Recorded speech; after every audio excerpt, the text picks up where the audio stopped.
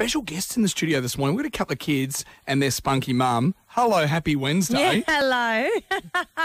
um, Jackie Goldston and her gorgeous children, Freya, who is four, and Declan, who is seven, Seven. are with us. Good morning, guys.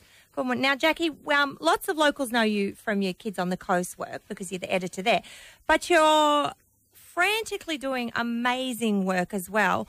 Um, when it comes to diabetes, because little Freya, who's four, has diabetes. That's right. Freya was diagnosed with diabetes when she was 11 months old. And at that time, I had no idea what it meant to have diabetes. I didn't know the difference between type 1 or type 2. And so there was a very, very steep learning curve for me. Uh, type 1 diabetes is something that cannot be cured and cannot be prevented. There are no lifestyle implications. And so for us, it means that Freya is tested, her blood on her finger every three hours, and that she gets five needles every day of insulin. So you're born with type 1. It's not, you know, you said you've had all sorts of ridiculous things thrown at you. You should have breastfed longer. You shouldn't have given her lollies. Absolutely. So, no, type 1 diabetes is something that is in your genes.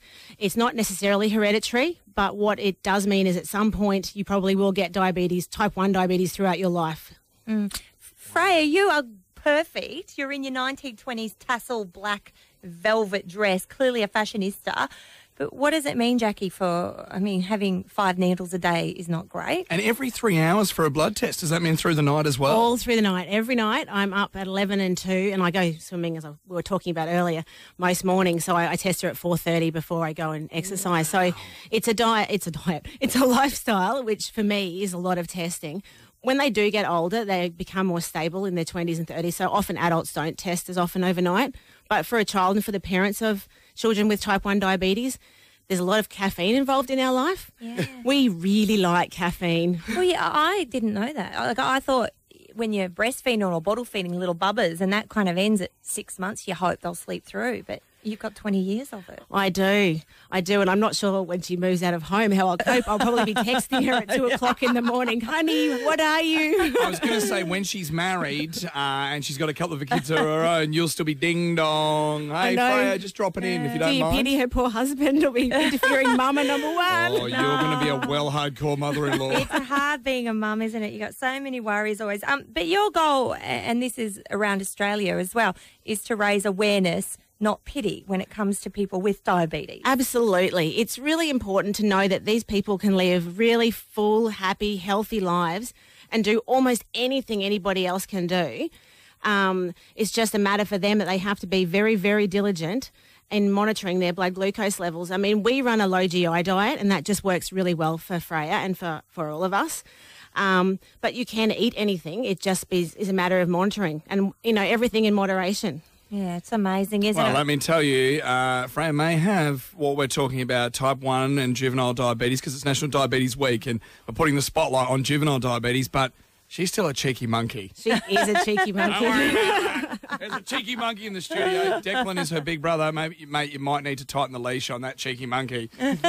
She's going crazy. Um, so obviously, people can get more information uh, on the National Diabetes Register. But when it comes to juvenile diabetes, like what, what are some of those signs? Because you're talking about Freya being diagnosed at 11 months of age. That's so young. It is. It, it was very young, and we had no idea. Over a week or two, her breathing had become more rapid. And because she was so young, it was December on the Sunshine Coast. The mm. last thing you're going to think of is drinking more water. So she was drinking, or she was still being breastfed. So she was actually breastfeeding more. She was drinking more water, and she had more wet nappies.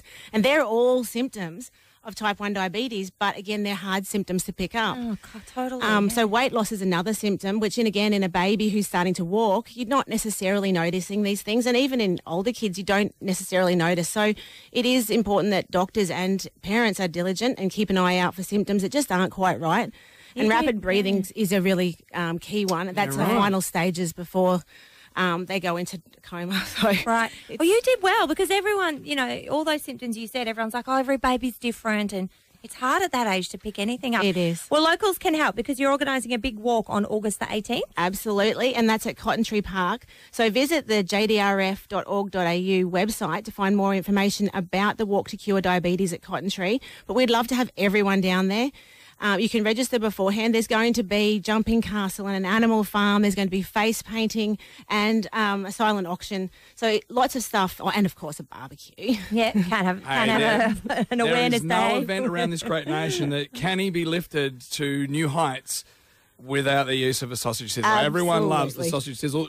Uh, so the website again is jdrf.org.au for more uh, more information. Brilliant. All right, Jackie, we will stay on it too because it's such a big thing and it's such an important cause. You need to scat to get to work uh, and to get Declan to Brightwater. Year two of the one of the newest schools on the Sunshine Coast. Thank you for coming in and Thank you sharing so your much. story, and thank you, Freya, for letting Mummy share your story. You're amazing. On you, Freya. I'm just going to call up the people at Milford Lodge, which is where Freya goes, because she's in prep next year, and just let them know that there's a cheeky monkey on the way. Do they have enough bananas? Good on you guys. Thanks for that. 7:29 news on the way. Hot 91.1.